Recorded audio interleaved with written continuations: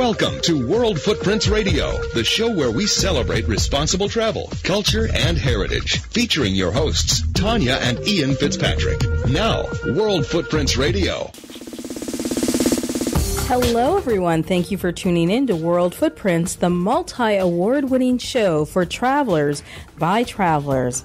And for the next hour, we hope to inspire you to live your best life and leave positive footprints when you travel. I'm Tanya Fitzpatrick. Today, we welcome back a good friend of the show, actress, singer, and author Gloria Loring and we'll explore the mystical and mysterious Amazon River with Delfin Amazon Cruises, Inez Orihuela. Thanks, dear. Fans of the World Footprints Book Club and loyal Days of Our Lives watchers will know Gloria Loring. Having played Liz Chandler for seven years on the popular daytime drama, fans also know Gloria as the singer of the theme songs to the NBC sitcoms The Facts of Life and Diff'rent Strokes. As an author, Gloria penned a spiritual autobiography called Coincidence is God's Way of Remaining Anonymous. As busy as she is, Gloria finds time to raise awareness for juvenile diabetes, blog and do a CD entitled A Playlist that includes a duet with her son, R&B singer Robin Thicke. You look for goodness in other people in spite of their occasional aberrations and uh, unfortunate behaviors. Um, you will find goodness in other people, you know. So I, I just think that this is a natural outgrowth of this journey I've been on.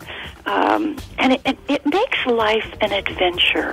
Few places on the planet have the intrigue and captivate in the way the Amazon River and rainforest do.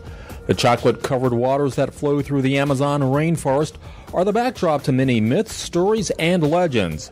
A husband and wife team were so inspired by the Amazon, they created a cruise line to give travelers an immersion experience unlike any other in one of the most magical and mystical ecosystems on the planet. Inez Orihuela of Delfin Amazon Cruises takes a break from one of her cruises to share the story of this transformative and inspiring cruise company. They decided to invest in their own country of Peru and be the pioneers into luxury expedition cruising in this area. We hope you'll enjoy our conversation with Gloria Loring and Amazon Adventures on today's show. I'm Ian Fitzpatrick, and this is World Footprints. Visit and connect with us at worldfootprints.com. Fans of the World Footprints Book Club and loyal Days of Our Lives watchers will know our next guest, singer, actress, and author Gloria Loring. Gloria played Liz Chandler for seven years on the popular daytime drama, and she can be heard on the theme songs to the NBC sitcoms The Facts of Life and Diff'rent Strokes. Gloria recently wrote a spiritual autobiography called Coincidence is God's Way of Remaining Anonymous, which we featured on a World Footprints Book Club show. She has starred in various theatrical productions and she continues to advocate on behalf of juvenile diabetes awareness. If that isn't enough, Gloria has an active blog and recently released a new CD titled A Playlist that includes a duet with her R&B baby, as she calls him, singer Robin Thicke. Gloria, welcome back to World Footprints. Well, thank you so much. I'm happy to be here. Well, you know, it's been a while since we last chatted, and I'm looking forward to catching up with you in your in your travels. Um, but for those who did not hear our book club interview, Tell us a little bit about your book, Coincidence is God's Way of Remaining Anonymous. Well, I call it a memoir with a message. I had a series of extraordinary coincidences that happened to me that were just the perfect thing for me at the right time. And along the way, I was recounting one of those stories about how um, a benefactor uh, stepped in to help me raise a million dollars for diabetes research after I made a promise to my son that I would do something to try to end his diabetes. And um, as I was telling the story of how I raised the million dollars and the benefactor coming into my life, the person I was speaking to said, "Oh well, but you know, coincidence is God's way of remaining anonymous." Mm-hmm. And in that moment, I said, "Whoa, whoa, whoa, whoa, wait, wait! Say, say that again? What? Coincidence is what? God's way of remaining anonymous." I, I got to write that down. So I wrote it down, and I started to think about it. And, you know, these ideas that we repeat to ourselves, and sometimes they're not very fortunate ideas, but they become like mantras, words that infiltrate our heart and our understanding. And for me, it was this saying about coincidence and God. And I started to notice as I thought about this idea and repeated it to other people, because I thought it was very cool sounding, um, that I was experiencing over a period of years these coincidences, these things, these coincidings of meaningful events that were Mhm. appearing in my life. Um, and I started to wonder, uh, you know, uh, how could I tell people my stories and make them meaningful for them in a way that would not just say, oh, look how lucky I am, but here's how lucky I am, and you're just as lucky. These things are happening to you, but you may not notice them. You may not have an understanding within which to hold them. And so I started on uh, a long journey of reading every book I could find about coincidence and synchronicity. And also, um, I found out that the quote about coincidence and God was um, said by Albert Einstein. And I thought, wow, wait a second. Here's a scientist talking about coincidence, which a lot of people just dismiss, you know, and um, and this um, this this name we hold for that which is beyond knowing, um, God, and and I thought I need now I need to research quantum physics and find out how physics and science supports an understanding of the way things come into our lives and how we can use them. So that's what the book is. It's this synthesis of my personal stories with oh gosh, uh, quantum physics, some science, uh, spiritual understanding, quotes by some of the great uh, spiritual beings, um, and it's about my own journey and and how it started on this path about coincidence, and then how uh, how where I am now. And I've, I've just been so grateful to hear from people that it has really changed the way they look at their lives, that they feel more connected to something.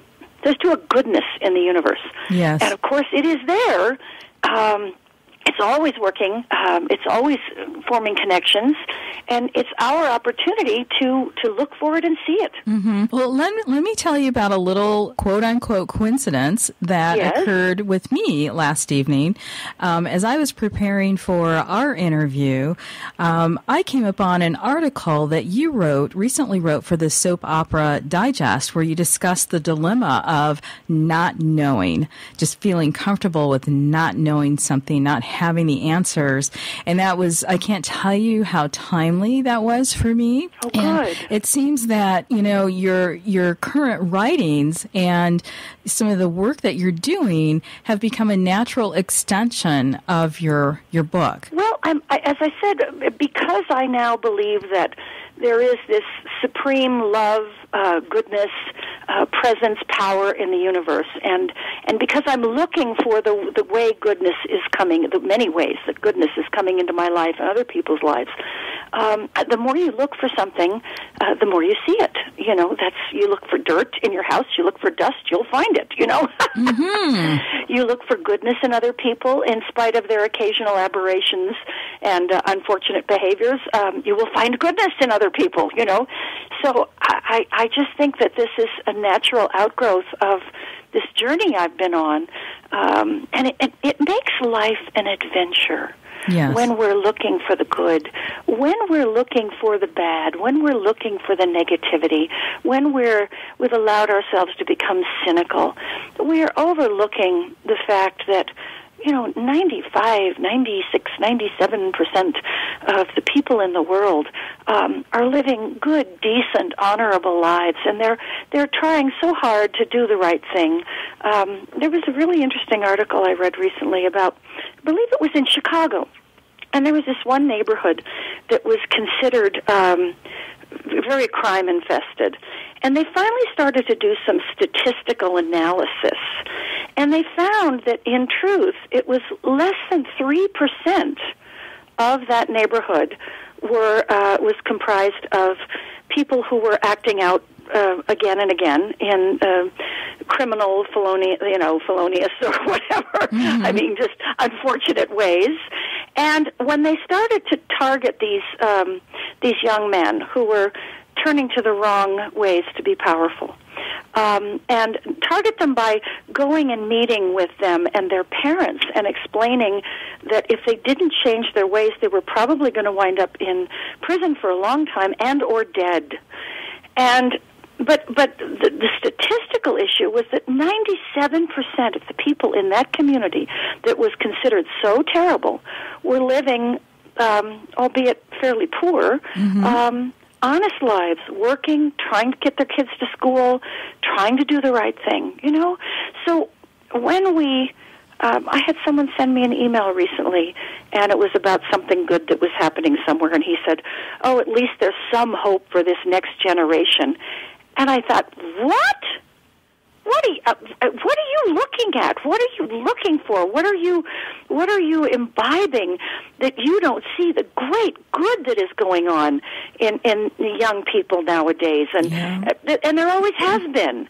It it really depends on what you're looking for.